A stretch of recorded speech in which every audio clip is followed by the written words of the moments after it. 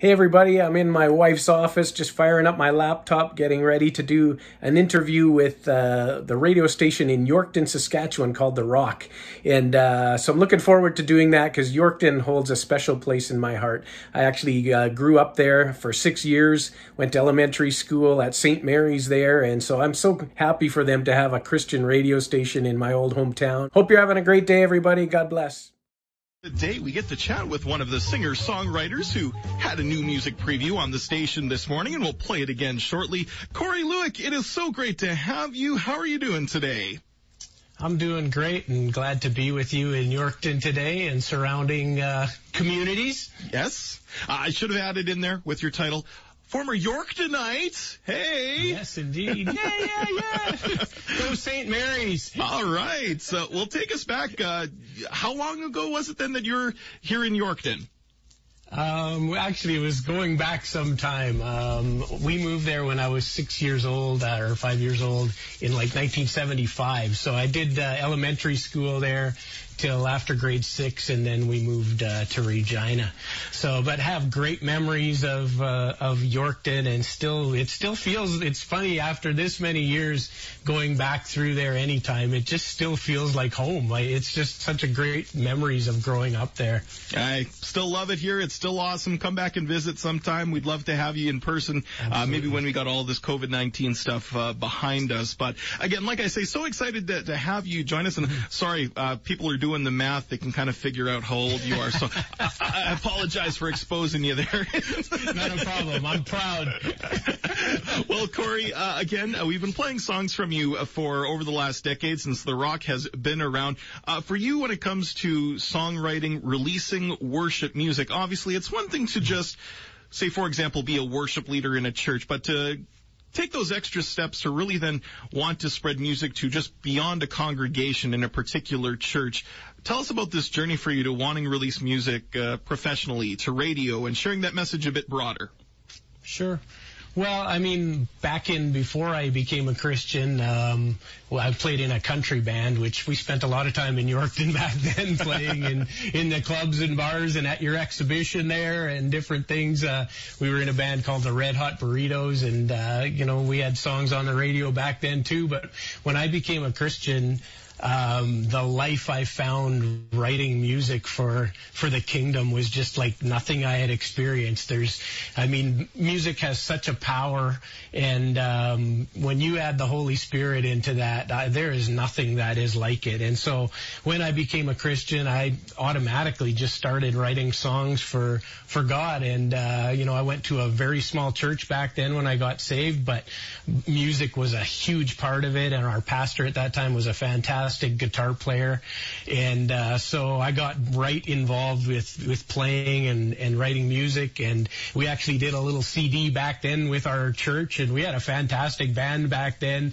Uh, my brother, who had played in that uh, in the Red Hot Burritos with me, he was going to the church, and my sister who plays piano, and so and my dad was even playing the saxophone a little back then um, in that church band, and we put out a little CD back then. That's where I started writing, and I've just done it ever since. And then probably, I guess about four years ago, three, four years ago, I just really felt like God was giving me the opportunity to to start putting some stuff down, and I reunited with a, a, a guy that I had played in a rock band with, who became a producer in Saskatchewan and had worked with some really good talent here in Saskatchewan, and got a hold of him and said, "Hey, I'm thinking of doing some songs," and so we kind of reconnected. I hadn't seen him for probably 15 years, and and we reconnected, and uh, he we put together my first EP, which was called Life of Praise.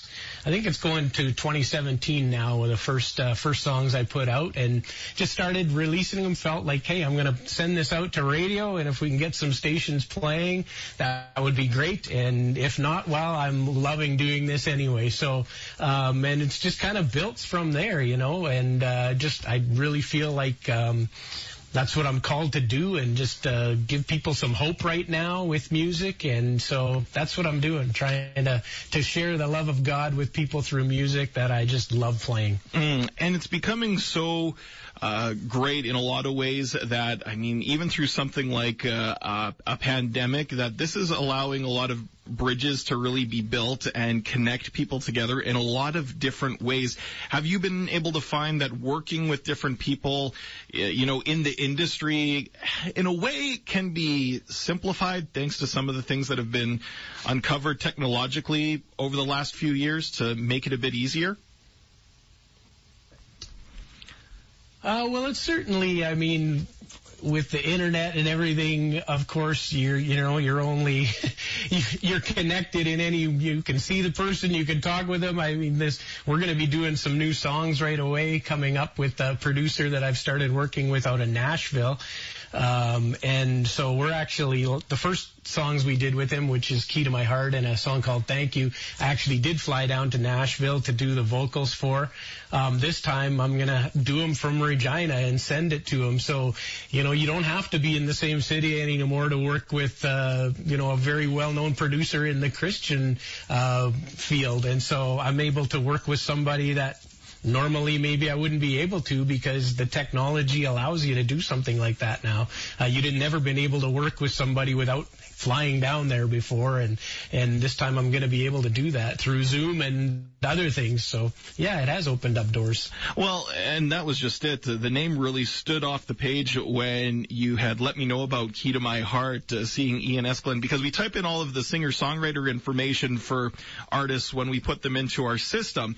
And I've typed in that last name yeah. plenty of times for some really big names. So how did that partnership come along with Ian? Yeah you know, it's really interesting uh, with trying to get onto Christian radio across Canada. Of course, you get to talk to people like yourself and, and Scott Fitzsimmons and and then trying to get on stations in Alberta and Ontario and stuff. And and one of the guys out in Ontario who runs one of the big stations down there his name's Scott Jackson. And uh you know I've tried cracking their radio station with all the songs and I could never quite get on there. And finally he said to me well, it's probably about a year ago now he said you know Corey I think you have some good stuff there but I think you should try a different producer for something. Um and so I said, well, send me the names of some people. So he sent me a list and I looked through them. And I mean, the one that stood out the most was Ian Eskelin because he's worked with everybody. He's had like 25 number ones. And I thought, well, is this guy even going to take my phone call, right? So you know what? I fired off an email to him and he called me that same day. He said, uh, Corey, I was listening to some of your stuff and yeah, you know, there's some stuff here. I'd, I'd be happy to try a couple songs with you. So I almost fell off my chair when, when he said that and because I knew of the people he's worked with and, uh, and I thought, wow, this is pretty incredible. So yeah, like God has just opened that door up just by somebody you know, sending me an email saying, here, take a look at some of these producers and, and try them. And so, you know, I didn't go for the bottom of the list. I thought if I'm going in, I'm going to try going for, for the top guy he recommends. And I did and got a call and I'm like, well, that's just God opening up doors. And so we're just walking through that now. And it's been awesome working with him. And I can't wait to do the, the next three songs with him. Yeah. Well, your story reminds me a lot about how for King and Country talking about some of the people they wanted to work with. And they just thought off the top of their head, oh man, wouldn't it be interesting we got Dolly Parton? Yeah. Again, they totally thought long shot for God only knows. She'll probably pass. They got a call back and it's like, you right. don't know unless you ask or you send an email or worst they can say That's is right. no, which is right where you would have been had you not said anything at all. Uh, can only go up if you will in that sort of way. And with God at the helm, I mean, anything as we know, uh, is possible all things are possible, as the scripture says, right? Absolutely. Absolutely. Uh, so, uh, for yeah, yourself, how would you describe exciting. yourself? Full time musician? Do you use this just as uh, a compliment to other things that go on in your life? Uh, yeah. how, how, would you describe uh, that? Right. Well, I'd like to say it was full time, but no. Um, unfortunately, I still have a day job. Well, Sure. You know, I own a couple businesses here in Regina, so God's really blessed me in that way that it uh, it does make things flexible for me that I can work around. Uh, I have one actually. If you're ever in Regina, we have a pawn shop called Happy Jack's Pawn, and we like to say it's the happiest pawn shop in the city. And so uh, I have a great manager there, so I really honestly don't have to spend a lot of time there. Uh, but we have that, and then my wife and I own rental houses, so I find myself mostly doing uh, repairs and and stuff like that on the rentals, and then in between that, I get to write music, play music, and uh, very involved with my church here, Harvest City Church, where I'm one of the worship leaders and also on the eldership teams. So uh, I try and volunteer as much as I can around there and help out wherever I can. Mm-hmm. And so I stay very busy, but yeah, I would love to at some point, you know, I'm really hoping God opens up something where I can get out and do some more playing. Uh, that's where I really feel called to just lead people in worship and encourage them.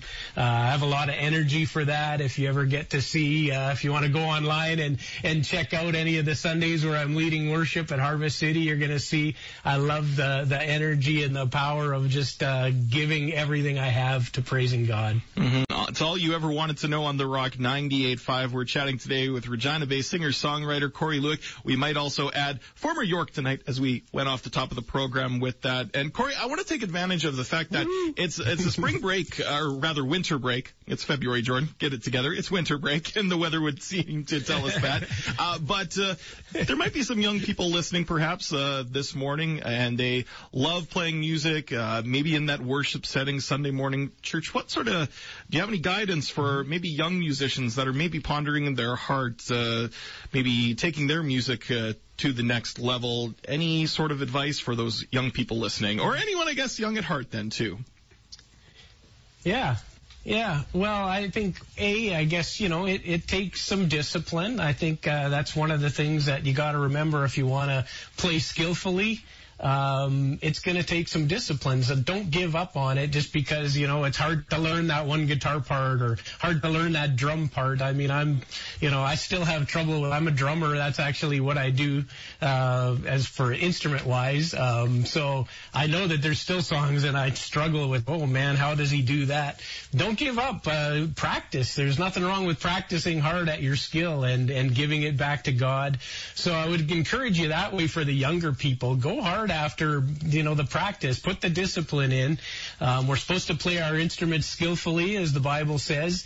And then for the people that are getting a little older, like don't give up on on your dreams of of doing music. And and you know, I mean, this is kind of strange. I'm at uh, just turned 51, and and now God's opening doors for me that I couldn't have even imagined before, right? And uh, but He gave me a you know a real word of back a few years ago because I thought like, is it's am I getting too old to even keep pursuing this, but he just reminded me of some of the people in the Bible and how long it took them to see their dreams come fulfilled. And and uh, Sarah, she was uh, what 89 or 99 when she had right. that baby. So uh, you know, don't give up on the dream. If God's put a dream in your heart to do something, then uh, you know the worst that can happen is you practice hard and give Him your best. What's wrong with that? If nothing else happens, right? You've given God your best, so just give Him your best. Go hard and and praise Jesus. Absolutely. Corey, I want to thank you so much for taking some time to join us today here on The Rock 98.5. Before we get to Key to My Heart, was there anything else you wanted to add? I uh, just want to encourage you. Uh, this song I wrote, um, it really just, I think one of the reasons it's opened up a lot of new stations with this song is obviously working with a, with somebody like Ian has helped, but just the heart of this song is that God reaches the broken wherever they are. And I know that's the heart of, of God is to reach those people. And, uh, you know, I think just uh, make that your prayer too, that God will help you reach those lost and broken people right now. There's a lot of people that uh, are uh, going through some tough times right now in, in isolation. And boy, your phone call or your text or something that, that could reach that lost or broken person right now. And that is the heart of God. So, you know, ask God to reveal to you somebody maybe in the next couple days that you could reach out to and encourage right now. So I'll leave you with that. And God bless you. Uh, thanks so much for having me on. Oh, thank you, Corey. Again, Corey Lueck today on All You Wanted to Know. That